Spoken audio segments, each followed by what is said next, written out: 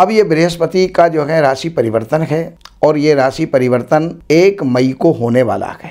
ये मेष राशि से और वृष राशि के अंदर जाने वाले हैं। तो अभी भी आपके बृहस्पति बहुत अच्छे हैं, अच्छे चल रहे हैं। चौथे स्थान में कुछ कुछ चिंताएँ तो उत्पन्न करते हैं, लेकिन यश और ख्याति ये बढ़ाते हैं, प्रॉपर्टी में वृद्धि करते हैं और माता के सुख में जो है वृद्धि करते हैं।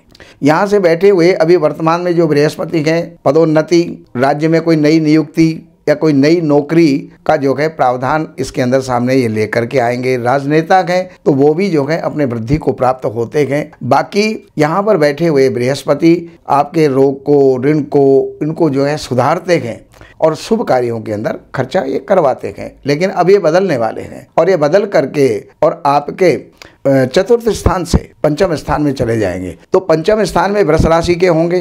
तो जितने भी पढ़ने वाले हैं, विद्यार्थी हैं किसी का इंटरव्यू है, किसी का रिटर्न टेस्ट है, वो इसके अंदर सफलता प्राप्त करेंगे।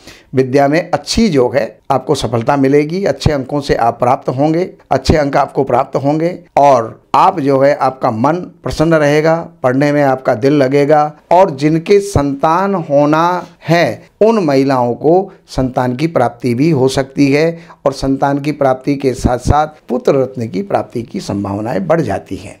ये बृहस्पति यहाँ से बैठ कर के नवम स्थान को देखते हैं। नवम स्थान आपके भाग्य वृद्धि का है। तो भाग्य में वृद्धि करेंगे भाग्य में सहयोग मिलेगा हर किसी से आपको सहयोग की प्राप्ति होगी और आ, आप आगे उन्नति की तरफ़ आगे अग्रसर आप होते चले जाएँगे आप बढ़ते चले जाएँगे और धार्मिक विचार आपके होंगे धार्मिक यात्राएँ भी आपकी होंगी और कर्म के क्षेत्र में भाग्य से संबंधित जुड़ी हुई यात्राएँ भी जहाँ तक हो सके विदेश यात्रा भी आपकी जो है वो संभव है।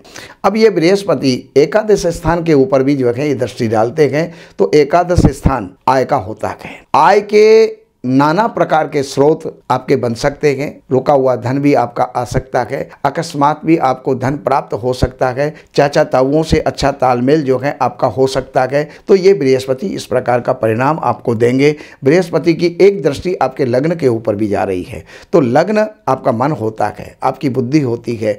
तो बुद्धि को संतुलन में लाएँगे, मन आपका अच्छा रहेगा, धार्मिक प्रवृत्ति आपकी होगी और इसके साथ साथ आप जो है सबसे तालमेल बनाने वाले होंगे और इस समय पर होने वाले जितने भी परिणाम हैं, वो सुखद होंगे और आपके अनुकूल होंगे।